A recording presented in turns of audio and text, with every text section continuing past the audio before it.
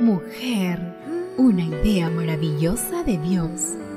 Eres única y especial, creada para ser bendecida y para dar bendición.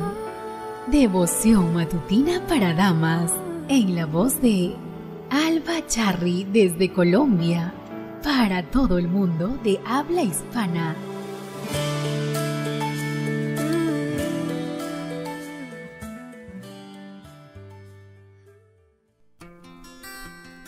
Iniciamos una nueva y hermosa mañana. Les envío un gran saludo a donde sea que se encuentren en este hermoso día. Para hoy nuestro devocional nos trae por título Mujer, sabia. Proverbios capítulo 31, versículo 26 nos dice, Abre su boca con sabiduría, y la ley de clemencia está en su lengua. ¿Qué significa hablar con sabiduría? Según el diccionario La Rose, sabiduría no es solo tener conocimiento de alguna ciencia, es la habilidad de pensar o juzgar con prudencia y equidad.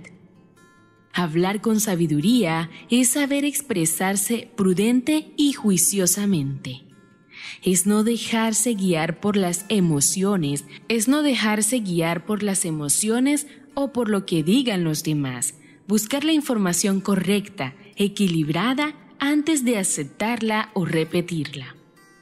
Toda mujer virtuosa dedicará tiempo a la lectura para informarse sobre tomos religiosos, científicos y de salud, sobre la educación de sus hijos, los asuntos del hogar e intereses de su cónyuge, sí lo tiene. Lo más fácil, pero no lo mejor, es dedicar mucho del tiempo libre a cosas que no edifican ni instruyen. A leer buenos libros, ver programas educativos y buscar nuestra superación personal, enseñamos a nuestros hijos la importancia de cultivar el intelecto y ellos seguirán nuestro ejemplo. Respecto a la clemencia en nuestro hablar, conviene cuidar la lengua. No hay que darle rienda suelta y expresar todo lo que pensamos o escuchamos. Al compartir verdades, invitemos al Espíritu Santo y así no ofenderemos a nadie. Evitemos toda rudeza. La lengua puede traicionarnos, porque así también la lengua es un miembro pequeño, pero se jacta de grandes cosas. He aquí cuán grande bosque enciende un pequeño fuego. El uso más excelente de la lengua es hablar de Jesús, decir lo positivo de la gente, expresar palabras de motivación y ánimo a los miembros de nuestra familia y a cualquier otra persona. Entre lo negativo y lo positivo de la gente, elijamos decir lo positivo. Decidamos hoy acatar el consejo del sabio Salomón.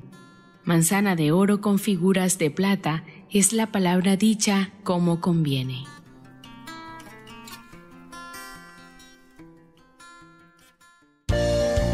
Fue la devoción matutina para damas, el alimento espiritual que necesitamos cada día para crecer en Cristo Jesús. Volveremos pronto y esperamos que este momento haya sido de mucho provecho para tu vida espiritual. Esta fue una presentación de Canaan Seven Day Adventist Church y DR Ministries. Hasta la próxima.